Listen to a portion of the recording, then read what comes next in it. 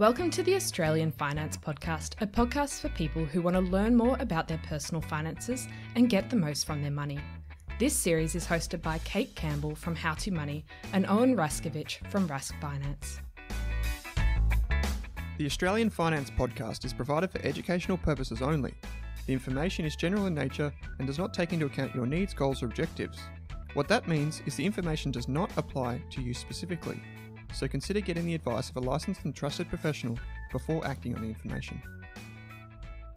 Kate, welcome back to the Australian Finance Podcast. Yes, today we're going to be talking about listed investment companies, otherwise known as LICs. LICs. Okay, so L I C is not L I C K. Yeah. Okay. no Good looking anybody. Yeah, nice. So these are pretty popular on the ASX, the Australian Stock Exchange and some people might weigh them up beside like managed funds or ETFs mm. um, and index funds. They might be thinking LICs sound very similar to those things. Yeah, but they're a little bit different, right? Mm. Okay.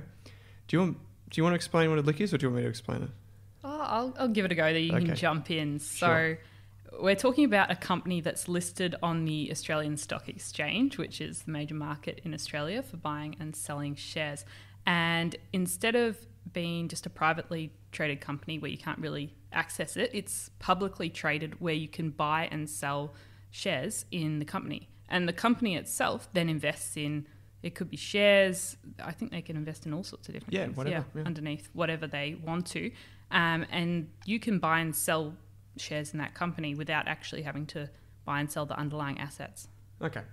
So let's imagine because um, I find it's a really good to get use an example mm. because we're about to talk about two different types of prices. So let's imagine I give you ten thousand dollars and then you go invest that in some shares. Mm. I could actually invest in the structure or the way that they're held and that those things that you manage instead of the actual underlying investments, right? Yeah. So I'm paying for not only the investments that are inside the thing, but also your skill, mm-hmm. right? And those things have two different prices, right? There's the price of like you and the assets, which is what we call the the share price of the listed investment company, mm. and then there's the assets that are inside, or the net tangible assets, or NTA, right? That's kind of the way I think about it, anyway. Yeah. And um, that's why. So one of the things that people get confused about with listed investment companies is the um, discounted premiums. Mm. So people say it's trading at a discount to NTA, or it's trading at a premium to NTA. So can you maybe ex- explain those things? Yes. So the underlying assets are one thing, but the interesting thing about listed investment companies is once they initially list, so they raise their capital at the start, say they want $100 million, all these investors love whatever the company is raising the money, put, apply for their unit, uh, sorry, shares, and they list and they buy everything as per their mandate on the first week. Mm-hmm. And then the money's actually locked in for the company itself. So they don't have to worry about the liquidity of whether the investors want to buy or sell on the outside. They can just get to work investing the money for you. Mm-hmm. On the outside, so from the retail investor point of view, you can actually buy and sell the shares at any, it could trade at any price really, um, even if the underlying uh, value of the share is really only $2.50 mm-hmm. the market might believe that this is a fantastic company, it's run by great people. I'm prepared to pay $2.80. Yep.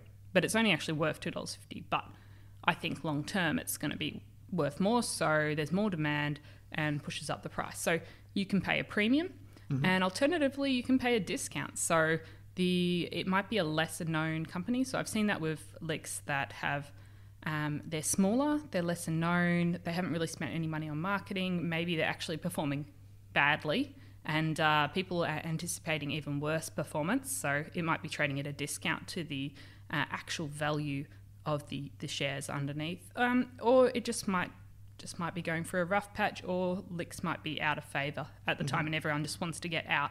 So people are prepared to sell their shares in this company for less than they're actually worth. Mm. Okay, so let's just break that down a bit and use an example.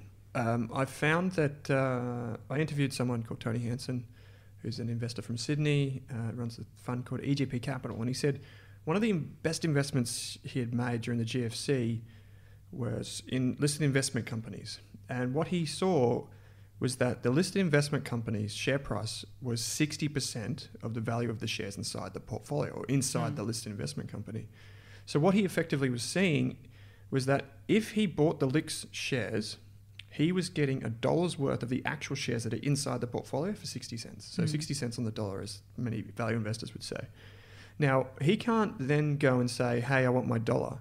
What he has to do is he has to write out the share price and hope that the discount or the Mm. difference between the share price and the value of the shares inside it closes over time. And like you said, that tends to happen with good performance. So if the rest of the market thinks, oh, that, you know, that the person that manages that listed investment company is going to Mm. do a bit better in the future, I'm willing to pay a bit more. Or if the um, listed investment company's management team start to do more marketing, so they might put out a monthly letter saying, hey, things aren't as bad. Um, why don't you come and invest in our shares? And you're getting all this exposure to a dollar's worth of shares for 60 cents. Yeah. Then eventually it goes to 61, 62, all the way up to Mm. maybe and you often see cents. see jumps in licks after they have a big shareholder conference or presentation or meeting because they get everyone excited about it Mm. and everyone starts to push up the the price um, and then starts to trade at a premium. Yeah, they do indeed. So th- you, you touched on a point earlier on, which is that people put their money in at the start. So that's the difference with an ETF. Is an ETF, you put the money in as you go. So you, you when you invest the money, you're actually getting exposure. The person that runs the ETF will go out and get those shares Yeah. and have them as you, kind of like your Yeah. shares. You don't actually see them in your account. You just see the ETF, but they're getting it for you, Hmm. and that's what an ETF does. So and they can create and redeem as many units of that ETF That's it. as needed. Yeah, it's like unlimited, right? Yeah. Whereas with a lick, the money goes in at the start, and the original shareholders get shares back at a dollar. So a Mm. dollar for every dollar that was invested. Now, I think the key question here is what does the person that, or the company that manages this listed investment company get? And the answer, as always, is they get some pretty hefty fees. Yeah. So one of the things that um, most people don't realize about licks is that the investment management agreements. So the company that, for example, if I gave you that ten thousand dollars earlier on, you might have an agreement to manage that money for a cer- certain period of time, Mm. and that might be five years, it might be ten years. Yeah. And if you think about it in the in the scheme of things, you could be just a terrible investor, Mm. but you've got a contract, and unless the the company pays you out of that contract, you're going to be continually investing Yeah. that money, and you're going to be collecting very and I've got fees. my funds locked in. They're locked I don't in. have any risk of any redemptions of um, new money coming in because it's all locked in. Yep. The the buying and the selling of the company happens outside of my concern. Yeah, That's it. doesn't That happens on the ASX. You as the investor, you as the investment manager, don't really have to. Yeah. Worry so about that. and generally licks do have higher higher fees than Mhm. maybe some of the comparable ETFs and Yeah. things like that. So they lock in potentially a one percent, two percent per annum management fee for a ten year period, and there's usually performance fees as well if they uh, achieve above a certain benchmark. Mhm. And this is a good thing th- that you touch on there with the fees. It's it's important to know the difference. If you compare ETF fees to lick fees, you're not comparing apples to apples. Mm. Sometimes there are fees inside of those things that are a lot different. Yeah. And so, you know, you're actually looking at a company, whereas technically you're looking at a trust if you're in Yeah. an ETF. So there's slightly different fees. But it would be fair to say, on average, that ETFs are cheaper. Well, they tend to be Yeah. cheaper. And Uh, e- but ETFs have a sort of a different role. Like listed investment companies are usually trying to outperform mhm. their benchmark, and you're paying this company, which are employing staff, buildings, and everything like that, uh, to out. True. Yeah, Yeah. Whereas an whether ETF they is, do or they don't outperform the benchmark, well, to them it, it's all locked in. But that that's usually why they're aiming to. Yeah, that, so that going back to our ETF uh, episode and managed funds episode, licks are definitely more active than Yeah. ETFs. So they they tend to be actively managed, and whereas an ETF is kind of just like algorithmic. Money comes in, money buys X shares, Yeah. um, and that's just the way they work. But licks definitely you get that expertise Mm. when you buy into well, quote unquote expertise when you buy into a lick. Some fund managers are better than others, of course, but that's kind of one of the reasons you'd buy in. Mm. Another, we seem to have beaten up licks a bit, but another really good reason, or a compelling reason you would buy a lick is for frank, franking credits. Yeah. So the comp- company itself generates franking credits, and it invests. Typically, if it's investing in Australian shares, for example, it's also going to generate franking credits from the Mm. dividends that it receives in the portfolio. So you, you have some licks in Australia that pay out pretty generous dividends and franking credits with those. And the good thing about some of the licks for investors is they do they can smooth out the income Mm. over volatile periods. So even you don't plan on say you're buying your lick to provide for your retirement income and you have no plans to sell it, the company can actually retain some of the income on years that the income's Mm. up and then actually use that to smooth out the years where the income might have dropped. Yeah, that's and that's in contrast to an um, so a listed investment trust or a trust that has to distribute income. Mm. Uh, a company can hold on to it. It can almost like put it in the bank, and then Yeah.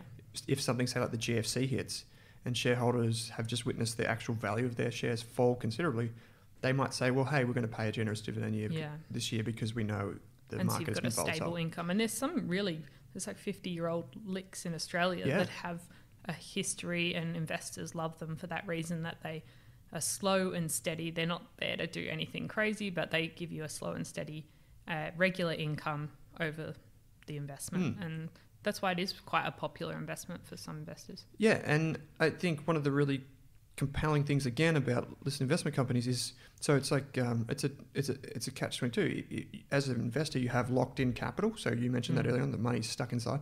But by the same token, the money is stuck inside.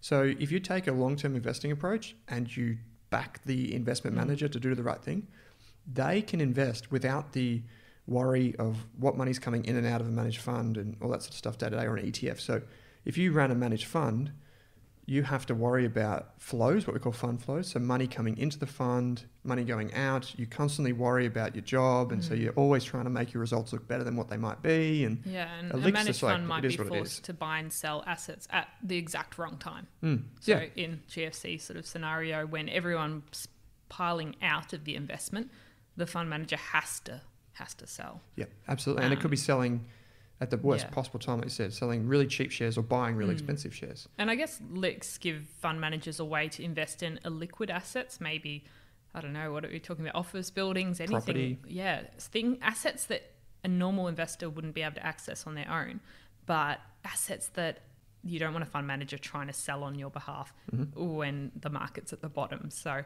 that is one advantage of that. And there is, um, I think there's a hedge fund in the UK at the moment that's having a bit of trouble uh, because they, uh, I think they're more of a managed fund style, but they have quite a lot in the liquid assets. And suddenly they've been underperforming. Everyone's trying to redeem their money. And they've sold most of their liquid assets. They're stuck with the illiquid assets. And uh, Hmm. they've actually had to freeze redemptions from so the people can't get their money out. Yeah, and they're having to shift the portfolio because suddenly the whole portfolio is stuck in the liquid assets. So, Mm. um, yeah, those. Yeah, I've so in my in a former life when I was a funds researcher, uh, we would see that. So we would still see companies or funds, these are managed funds from the GFC, that was still frozen like five years later because the whatever was inside the portfolio couldn't be sold. Yeah. So that that stuff happens. And with licks, I guess you don't have that's not as big of a risk. Yeah. One of the things that people that invest in licks will point to as an added benefit is that if the lick is terrible, then you can have a vote, I guess, to dissolve the company. Mm. And then say, going back to the example earlier on, if you got 60 cents in the dollar, so the assets inside the lick are worth a dollar, but it's only trading at 60 cents. If you get a good enough investor or a big enough investor to convince everyone else to vote against the Mm. company and, and dissolve it, what you can do is you can actually crystallize the value of the investments inside. So what I mean by that is you buy it for 60 cents, then you petition all the other shareholders, the company gets closed down, and then you get given your dollar's worth of Mm. assets. So it kind of puts a floor on the worst case scenario. Mm. But once again, the value of the assets inside the portfolio can bounce all over the place. So you Yeah. just you've got to hope and expect that the value of a dollar is going to stay a dollar. Yeah. Um, so we've we've laboured on these points a bit for a bit too long, but um, just a couple of things to tidy up. Um, how do you buy them? How do you buy licks? Yeah, just through your broker. Um, all the large financial institutions have options available. So you set up your account just the same way you'd buy shares or ETFs. You can just buy your lick, and it's usually a three-letter stock code. Mm-hmm. Um, the good, the thing to check out first before you go buying any licks is looking at the company's website and looking at their net, what the actual value of the stock is, so their Yep. net asset value, and then comparing that to what it's actually. Is it a dollar on the Mm-hmm. website and it's currently trading at a dollar ten, so trading at a premium? Are you prepared to pay a ten percent premium Yep. on that company. Do you think it's worth it? Or alternatively, it might be at 60 cents and wow, massive discount. You're getting the basket of shares on sale. Hmm. Yeah, that's a good point. Um, do you own any licks? I have. I don't think I do at the moment. Okay, yeah, no, I don't. Um, so one of the thing, one of the issues that you may find is that all the best licks trade at a, a premium. Yeah. So you've got to be prepared to pay more. And Yeah. they've got a very loyal and stable client base. Mhm. Uh, some of the largest, if you have a look around Licks in Australia, um, definitely they've got a lot of supporters and uh, they don't ever plan on selling them. Yeah, so it's very hard to get your hands on some of them. Mm. And generally, the better licks are keeping the market informed regularly, so Yeah. it's harder to take advantage of any momentary falls. But um, one of the things, one of the points that people like to make also is that you should only ever buy licks at a discount, meaning you Mm. should only ever buy them for less than the value of the assets inside that the lick. And the reason that they make that point is that there's fees, there's a friction with fees. So you have, you know, one percent fee plus a performance fee. You should be paying less than what the price is on market because you Mm. could just go out and buy them yourselves. Uh, so, I mean, I don't really buy into that. I think, pardon the pun, I, I think um, if you are a truly, truly long term investor, you can afford to pay a little bit more Yeah. than the, the NTA or the net asset value. But obviously, you want to be realistic with Mm. that. Uh, one thing you, you mentioned going to the website. Another thing I do while you're on the website is just look at performance Mm. and also pay attention to how they report performance. Because some of them report it without fees and without costs. Yeah. And is it, is it pre tax, post tax? Is it pre tax or post tax? So it's different reporting to an ETF. It's just important that if you are comparing multiple licks side by side, you, you're comparing the same metrics. Yeah. And then don't obviously go and compare a, a listed investment company that has 20% shares and 80% bonds with one that has the opposite. Yeah. You want to make sure that you're comparing a similar strategy across the licks. Um, so, yeah, it's just make sure, once again, you're comparing apples to apples, strategy, fees, um, and, you know, try and purchase them at a discount if you can, but that's not always the case. Uh, anything else, Kate? Have we missed, missed anything? Did you? I think my big question for you Ooh, as the the expert here, with the rise in exchange traded funds, do you think licks are a dying investment breed option? Um, well, you made the point earlier on about uh, some of these licks have been around for many, many, many years. I don't see that changing. Yep. So I think at the very least, we'll continue to see more of the same Mm. in terms of the, the good list investment companies will hang around. Yeah. Some of the bad ones will hang around too. Probably for not as long, but they'll hang around. I don't think we'll see as many come to market. Mm. And we definitely won't see the explosive growth growth that we have seen with ETFs because now you're seeing more ETFs um, become actively managed, Yeah. which are very similar to a lick. The only difference is that you can get in and out. Mm. So if we see more of that, that will be a genuine alternative to licks. But I don't think they're going anywhere. There's a few reasons. The incentives are so good across the board. So you've got the incentives of the investment manager. They want to stay in business, so they're going to keep. Um, you know, they're going to. It's agency there. They're going to. Yeah. They're going to want to do the best thing for them. The shareholders, like you said, have, have enjoyed dividends, so it's a better structure for dividends. More generally, I guess. Um, and the third thing is most of the shareholders are loyal. Mm. So they've been some of these licks have been on the market for decades.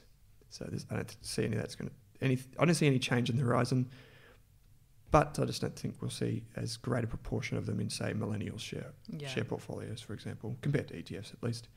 Mm. We've included some resources Oh, yes. on listed investment companies in the show notes. How so to Money website. And uh, Check Owen has a video comparing ETFs and licks, so that's I- something for yes, did do I? you. He can't even remember he Actually- recorded that one. You know, just getting behind the camera so often these days. just kidding. Um, actually, yes, just checking that, and it is true. I can confirm that there was a video of me doing that. I did find it on the weekend. okay. So all yeah, over it. definitely watch that. It's a must-watch. yes. uh, How to Money website for everything else, uh, some tutorials, and um, they can also lodge questions there. yeah. Yep. Questions via howtomoney.online or Rask Finance. Yep, raskfinance.com. On you're on Twitter. Yes, at How to Money Australia Yeah. and Instagram. Cool. Yeah, Instagram, good one. I'm on Twitter at Owen Rask, and I'm on Instagram as well, but I have like a hundred followers. So Yeah. Uh, Yeah. Owen's Owen's next step is dominating I- Instagram. I think um, I think my Instagram has a photo of a coffee, uh, one chart like a f- investing chart, and I think you have a, A- rabbit. a rabbit. Yeah. Yeah, one of my pet rabbits. So definitely get on there for all the latest rabbit picks. Until next week, Kate, thanks for joining me. Thanks, Owen.